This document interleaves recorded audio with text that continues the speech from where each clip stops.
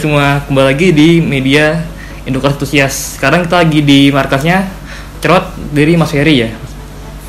Sekarang kita mau bahas ini nih, salah satu mobilnya yang tuh yaitu Panther tahun berapa mas? Panther ya? 2011 2011. Berarti tuh mobilnya tuh emang tahun pertama ya, apa second? dari pertama dari pertama, Pertama. jadi eh, pertama kali keluar di 2011 kita emang beli baru terus mulai didandanin nyicil lah Awalnya emang modif-modif ya mas? Apa harian doang? gitu? Uh, sebenarnya lebih ke arah modif buat kepentingan harian karena iya. mobilnya kan dipakai buat daily use kan kadang Hmm. ngangkat barang apa semua segala macam gitu.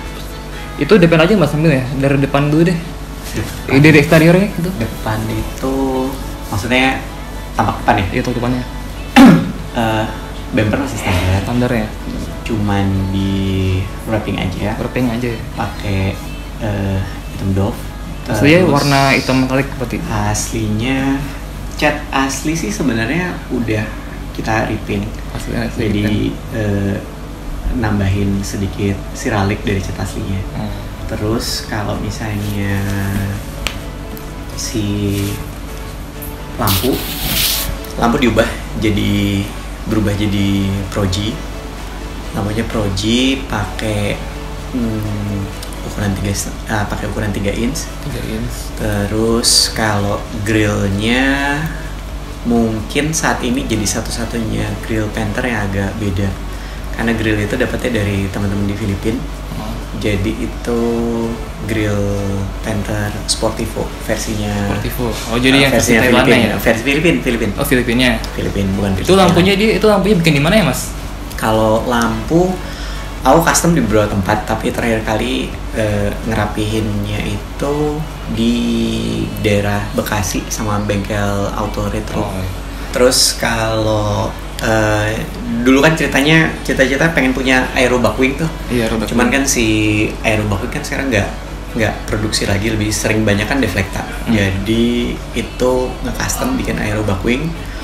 Terus si kap mesinnya eh, ngebikin special request carbon look dari 3M dari 3M Indonesia. Kalau lanjut ke bagian samping nih, kan velgnya kan belang tuh mas sekarang. Itu apa? Pelek. Emang, iya aslinya tuh warna apa sih mas? ini? Pelek Sebelum ganti, itu sebelum ganti ke sini kan velg apa itu mas? pelek itu sebenarnya eh pakainya eh, pelek bekasnya Opel Blazer yang kaleng. Oh iya bener. Eh, cuman kalau pakai yang aslinya Opel Blazer tuh nggak bisa masuk ke Panther karena offsetnya terlalu plus. Jadi eh, itu dibikin reverse offset, Oh, uh, nge-custom reverse offset. Eh, sekarang lagi ngerapihin catnya aja sih. Mungkin kepengennya warna gunmetal gitu kan. Oh, gunmetal. Lihat-lihat nanti deh. Kalau bannya pakai spek apa mas? Kalau ban sekarang pakai AT, Oh, pakai AT. Savero Hmm. G Radial. Berarti konsepnya tuh emang mau off road ya mas? Apa gimana? Hmm, Konsep awal bikinnya? Sebenar kalau aku sendiri sih sebenarnya nggak demen off road sih. Eh, kayaknya sayang kalau misalnya kolong kotor gitu. Iya. Agak funky ya mas. Cuman cuman at least mobilnya kalau mau dipakai ke mana aja udah siap berangkat. Makanya bannya juga milihnya AT kan kalau misalnya AT mau dipakai on road atau off road kan bisa. Ah, masih bisa dua-duanya. Yang penting nggak sampai ekstrim off road aja. Tapi kalau tinggi berarti nggak? Kalau touring, basicnya memang bawaannya segitu. Cuman aku hanya ngerapihin eh pairnya itu kita roll ulang yang belakang. Pairnya di roll ulang, terus eh, nge-custom pan hot rod di bagian belakang. Terus shock breakernya ngeganti pakai Fomoco depan belakang. Masuknya. Ah, Ber- Berarti itu jadi lebih tinggi apa lebih turun tuh jadi? jadi Lebih tinggi ya? sedikit lebih tinggi dari bawaannya Grand Touring. Yang touring. Ah. Kalau lanjut ke bagian belakang tuh udah depan aja mas. Kalau bagian belakang sih nggak ada, cuman cuman nambahin towing bar gitu aja. Hmm. Terus kalau bawaannya kan kalau Grand Touring memang eh, bannya itu kan ah, udah gendong ya. Oh iya, Jadi ada udah ada kondenya, udah ada konde, udah ada konde, udah ada konde. Terus eh, aslinya bawaannya dia memang udah ada wing di belakangnya, terus nambahin kamera mundur yang rada ngumpet. Kalau di interior nih udah diubah apa aja sih mas? Interior? Kalau interior dari bawaan aslinya aku udah nge nge retrim ulang. Trim ya. Jadi bahannya sekarang udah ubah pakai bahan microfiber. Fiber. Kalau bawaan aslinya kan sebelumnya ya? udah kulit. Oh, kulit Udah kulit. Kalau si touring bawaannya udah tuh udah kulit, tapi karena udah lama eh, kita retrim ulang, jadi sekarang pakai bahan microfiber. Eh, tadinya kan kalau bawaan standarnya kan warnanya agak krem gitu ya. Iya, krem krem. Kalau sekarang udah kita ubah jadi full hitam. Ah. Terus yang lain kalau di interior itu oh, di audio steer. steer. Steer, steer aku pakai OMP. Terus ada quick release. Jadi kalau misalnya parkir, steernya aku bisa copotin. Iya. Terus Oh, audio. audionya. Audio. Audio aku main eh, kalau kebanyakan orang biasa main audio eh, mainnya aktif. Iya. Kalau aku semuanya pakai full pasif. Pasif tuh apa tuh? Eh, jadi kan kalau misalnya biasa kalau misalnya orang main audio aktif kan ada prosesor ya, Iya, prosesor. ada prosesor nanti di di setup ulang gitu. Nah kalau misalnya full pasif eh, beneran ngandalin pasif crossover buat di speaker dan lain-lainnya. Oh, jadi cuma Jadi, jadi perangkatnya jadi jauh lebih sederhana. Hmm. Head unit head unit standar sih tetap dipakai. pakai. Ah, cuman eh, nambahin opsi Bluetooth karena bawaannya belum ada Bluetooth, Hmm. nambahin opsi Bluetooth. Speakernya upgrade jadi three way yang twitternya pakai CAV. Eh, mid bass sama mid range-nya pakai ADS. Oh, iya. Leb- lebih seneng pakai speaker yang lama-lama ya Oh, iya. karena kecenderungannya karakternya kalau menurut aku agak lebih warm aja sih. Hmm. Heeh. Itu lebih ke vokal apa ke mana mas? Eh, dia jadi enaknya kalau misalnya pasif karena cenderungannya lebih eh, lebih natural lah ya, lebih natural. Jadi kalau mau di set buat lagu apa aja sih masih cukup oke. Jadi nggak nggak kayak pilihan oh ini settingannya spesialis buat SQ doang, buat kalau ngedengerin lagu ini kayaknya mesti ubah settingan. Oh, Nah, jadi kan- kalian tuh lebih ke netral ya mas? Iya, apa aja bisa. ah, ah. Karena equalizernya juga di set, di settingnya juga flat. Kalau power head Oh, unit, oh iya, power aku ya. pakai power lama juga, masih pakai IC jengkol gitu, eh, pakai power helix. Jadi Helix. jadi si power helixnya eh, nge-handle 4 channel nge-handle eh, buat kepentingan si speaker semuanya. Berarti kalau prosesor nggak pakai mas? Nggak, nggak sama sekali. Cuman sama sekali. doang audio, eh speaker sama. eh, jadi hitungannya dari power crossover pasif Ya. Terus langsung ke si speaker speakernya. Ah. Kalau di yang di dashboard tuh nggak ada ya? Twitter nggak ada ya? ada ada ada Oh, kan Twitter ke ada. pasang ada yang di pilar kan Oh iya ada. nah, yang pilar si twitternya pakai cav gitu ya Oke. Tipe Grand Touring tuh tipe paling tinggi ya Pak? Kalau salah. iya kalau misalnya di Panther Grand Touring pas pada saat tinggi. tahun 2011 itu jadi tipe yang paling tertingginya Tingginya. dia. Ah. Itu kan saya kan pernah lihat tuh mas di pas saya ke dalam tuh ada tuh di setir tuh ada apa sih mas di bawahnya tuh bus meter bus meter. Bus Oh berarti mesinnya udah ganti dong mesinnya. Eh, ada enggak, mesin, dong? mesin masih mesin masih standar bawaannya Standar. 4JA. Ah. Cuman kita hanya custom di Bospom, Hmm. nge-hybrid di turbo, terus sedikit bikin ngeblueprint ulang lah si mesinnya. Jadi bus meter tuh buat apa sih mas sebenarnya? Ngukurin ngebusnya si turbo. Oh iya kan turbo Jadi ya? biar kalau misalnya pas kita lagi ngegas ngebusnya nggak terlalu berlebihan kalau misalnya di bawah jalan jauh. Oh. Jadi ngejagain biar dia nggak nggak sampai kejadian glowing gitu aja. Oh, bukan gitu ya. Ngebusnya soalnya lumayan walaupun masih pakai turbo bawaan standarnya Panther yang average standarnya itu paling ketemunya cuma 0,7 bar. Kalau misalnya sekarang setelah di hybrid turbonya bisa ngebus di kisaran 1,5 bar. Filter udara upgrade pakai Canon Apollo. Hmm. Eh, hmm, pasang downpipe custom buat turbo Oh. sama, sama Bospom sih ngoprek. Ba- Bospomnya dioprek. Tapi masih masih enak ya buat karin enak ya? Kayak Hmm, harian. memang targetnya memang bisa buat daily use karena kan eh, kepengennya eh, hanya nguber torsi bawah aja sih sebenarnya nguber torsi bawah biar eh, lebih lebih bagus lah torsi Oh. awalannya gitu Itu mas kerawat kayak gini emang itu mudah apa gimana sih mas? Mudah apa susah sih mas? Kalau Panther Eh, gitu? dulu sebelumnya main mobil bensin Bensin. terus sekarang udah berubah ke diesel Oh, jadi Panther ini mobil diesel pertama ya mas? Eh, enggak juga sih sebelumnya udah sempat ada masih ada Fortuner juga terus Fortuner. sebelum ini ada ada Panther LM juga yang Hmm. dipakai gitu Eh, enak ya kalau ngerawat mobil diesel kita kan nggak ada cerita ganti busi tuh Iya. jadi kalau misalnya bicara tune up hanya mungkin sesekali mungkin per 20.000 ribu kilo mungkin ngepurging terus eh, ganti filter oli sama filter solar berbarengan sama sekalian ganti oli aja. Jadi maintenance-nya cuma gitu-gitu aja. Kalau bengkel tuh mas ada tuh nggak? Mas ada bengkel tuh mas, bengkel langganan gitu mas biasanya. kalau bengkel kalau ngerjain kayak kaki aku ada dua tempat. Satu di Bogor satu di Jakarta di dekat Pondok Bambu sini. Terus kalau misalnya eh, engine aku ngerjain di daerah Swadharma namanya Swadharma. Pancatunggal Motor Heeh. Untuk main mobil mas, cuma main mobil pentar aja berarti mas. eh yang paling sering dioprekin sih si Panther Panther. sih. heeh. Eh, kalau yang lain sih jarang-jarang dioprekin, paling ngebantuin teman-teman aja. Kenapa milih ini sih mas Panther? Padahal kan bodi kan udah tua ya bodi yang mobilnya udah tua gitu. Dari, dari tahun berapa belum pernah ganti model gitu. Tapi misal aku mobilnya.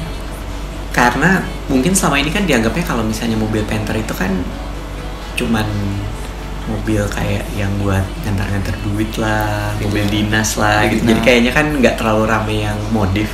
Iya. Jadi kalau misalnya kita modifin ternyata nyaman, terus kalau mau diajak ngebut juga bisa gitu kan? Iya. Ya satu-satunya kayaknya sekarang ngopreknya Panther, apalagi eh, dengan kondisi sekarang pakai diesel dan solar biasa kalau di Panther mah terima aja. Jadi kalau mau pakai solar yang cuman harga 5150 pakai Panther tenaganya tetap enak, irit lagi kan. Ya Iya pilihannya Panther Panther. ya.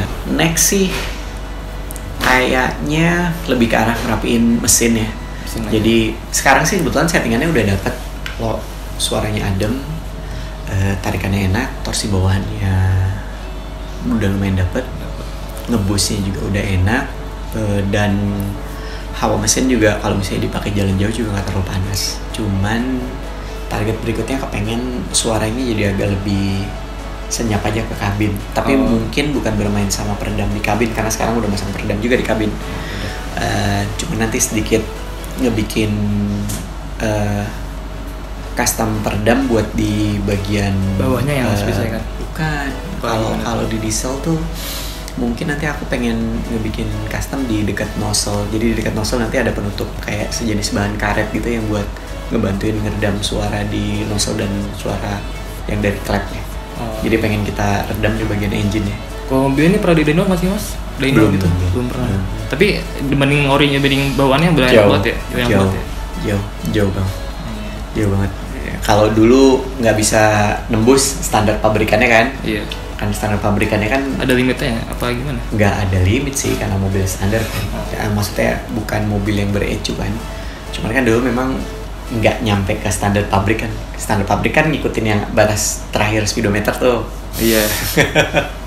Jadi sekarang kalau misalnya nguberin mau nguber ke standar pabrik ya insya Allah dapat lah. Berarti udah pernah tuh dong, udah pernah lewat jarumnya Ya, itu? udah pernah Speedometer. nyenggol. Udah pernah nyenggol doang. Oke. Oh ya, ini mobil udah paling jauh ke mana sih mas? Paling jauh? Pernah touring gak sih? Bali Oh, Bali pernah? eh, kalau arah Sumatera mungkin paling jauh Palembang kali. Oh, Palembang ya? Tapi emang nggak ada masalah sama mobil ya? Jangan normal-normal aja. Normal-normal aja. Nggak ada trouble apa-apa. Emang biasanya kalau touring tuh mobilnya disiapin dulu kan mas, dicek dulu kan apa Ya biasa persiapannya? ya, cek persiapannya. ha. Kita ngecek-ngecekin gitu. Pokoknya eh, kalau pas sebelum jalan jauh ya biasa meriksain semua standar gitu kan. Rem, ban, eh, oli, eh, radiator, Oh, iya. sama AC. Kayaknya kalau misalnya hari sekarang kalau misalnya AC yang Maksudnya itu tadi panas banget ya. Tadi Ah. knalpotnya udah depan aja mas? knalpot knalpot itu jadi eh downpipe custom custom. downpipe custom karena kan bawaannya kalau misalnya si Panther 2011 itu kan dia udah Euro 2 jadi ada katalik converternya Oh iya. katalik converternya copot dibikin downpipe terus nge-custom knalpotnya dari depan ke belakang Eh, itu di tempatnya Abah Firman namanya Oh iya. Abah Firman di Bogor eh kalau eh tabung bawaannya udah copot jadi kabun tabung bawaan dicopot sekarang udah pasang tabung bentukannya kaleng gitu jadi Kaleng. kayak kaleng kongguan gitu kotak iya. gitu Iya, iya. kotak gitu cuman di dalamannya bentukannya kayak spinner gitu lah itu terus sebelum di bagian depannya eh, straight pipe eh, naik ke belakang ada nambahin eh, tailpipe eh, basicnya dari Borla tapi ditweak ulang sama si Abah Firman ya. Hmm. ditweak ulang sama si Abah Firmannya itu mm, jadi nambahin nambahin beberapa titik J pipe gitu. Mungkin kalau orang-orang bilang sama kayak drone killer gitu ya yang buat ngebantu ngeredemin suara gitu ya. Tapi kalau misalnya ini karena si ditempatin sama si Abah Firman di posisi tertentu gitu ya total itu J pipe nya kalau aku nggak salah inget ada satu dua tiga empat kalau nggak salah. Udah empat. total J pipe yang terpasang. Dan perubahan juga cukup signifikan. Dan suaranya juga menurut aku sih enak sih. Nggak lebay. Apalagi eh, suaranya si turbo swingnya tuh kedengaran tuh di ending belakang. Jadi udah blow off ya? Apa gimana mas? nggak ada blow off dia Oh, kalau misalnya. Ini nggak ada blow off. Cuman suara si swing turbonya pas pada saat dia udah mulai spoil suaranya tuh eh, kedengeran di di belakang mobil Hmm. jadi kayak berasa mobil VNT gitu Berarti ini lebih ngebul dong mas dibanding orinya mas? Nggak, nggak ngebul sama Oh, sekali. nggak ngebul ya? Kan udah ngebul. dihapus. Iya, walaupun walaupun si Apalagi- bos pomnya sudah di setel load solar dan macam-macamnya, Hmm. nge ngebulnya sama sekali nggak ngebul hitam parah gitu Oh, walaupun iya. pas pada saat dia ngebus. Karena kebetulan ya itu tadi aku ceritain yang aku ngoprekin ngeblueprint engine terus plus sama sekalian e, nge-setup ulang si bos pom dan turbo di tempatnya Mas Dodo dan Mang Pandi itu yang di daerah Sodarmas itu itu sih cukup lumayan berpengaruh signifikan buat tarik-tarikannya si Panther. Oh iya. Uh, Terus saya mau nanya mas, itu yang cerut detailing itu apa sih mas? Cerut detailing itu Eh, obat detailing atau cuci mobil atau apa? jadi eh, kita kan kebetulan punya usaha jasa detailing nih. Detailing ya. Ah, jasa detailingnya udah ada dari tahun 2008an. Hmm. Terus seiring waktu ngeliatin orang-orang udah mulai banyak yang DIY, eh, kita mulai bikin produk sendiri. Nah, kenapa di brandingnya cerot? Jadi dulu itu ceritanya eh, ngebikin produk tuh yang pertama kali gimana caranya tuh kalau misalnya orang pakai tuh gampang gitu. Iya. Kan zaman dulu mungkin kalau misalnya ngerasain kalau kita mau mengkilapin mobil nge-wax itu kan mesti Susah ya, saya ngelapin ya, terus nanti jadinya harus berubah kayak lapisan lilin dulu terus baru Iya. diolesin gitu kan. Nah, kayak waktu itu mikirnya kayaknya paling gampang nih kalau wujudnya tuh dalam wujud cairan gitu loh. Cairan. Kayak cairan di botol terus disemprotin, Oh. makanya judulnya di dicerotin Oh. Gitu. Jadi Tapi bias- variannya sekarang udah nambah sih, nggak cuma Jadi biasanya doang. tuh emang rokok dong ya? Emang tempat detailing mas? Biasanya. Eh, dari dulu memang layanan polisi kita home service. Home service. Jadi sebelum itu kita sih nggak nggak punya tempat sendiri sih. Sampai sekitar tahun 2000 2017 lah ya. 2017 eh, garasi rumah dijadiin tempat detailing. Tapi kita tetap masih ngelayanin home service sama beberapa TPM juga jadi rekanannya kita. Jadi kayak di BMW, Suzu, Pusho biasa kita ikutan ngerjain di ATPM. Kalau produknya tuh ada apa aja mas? Yang mas buat sekarang? Kalau untuk produk DIY-nya Di- kita punya wax, terus pembersih jamur bodi, pembersih jamur kaca, pembersih aspal, eh, smear ban, sam pembersih interior sama pembersih ruang mesin. Orang mesin. Ah, itu yang buat orang-orang pengen DIY. Semuanya tuh tinggal cerut dong berarti ya? semuanya tinggal, Tinggal- dicerotin doang. Iya. Yang layanan home service itu biasanya mas kena berapa sih mas? Daftar harganya gitu? Variatif sih, variatif, Variatif ya? variatif. Cuman kalau misalnya nih, kalau memang ada yang minat, Hmm. mungkin nanti dibikin kayak skema rate khusus aja nih buat temen-temen Indocar entusias. Iya. Jadi kalau misalnya eh ngetek ke cerot, misalnya di Instagramnya cerot cerot the detailing, terus nge-screenshot bahwa sudah subscribe dan follow Indokar Enthusiast dan sudah Iya. komen gitu kan. Bisa. Nanti nanti kita bikinin rate khusus lah Eh, buat promo ya, buat Mas. iya Iya. buat teman-teman buat teman-teman yang nontonin Indokar. Oke, oke, sekian dari saya. Saya Brilian undur pamit dengan Mas Ferry.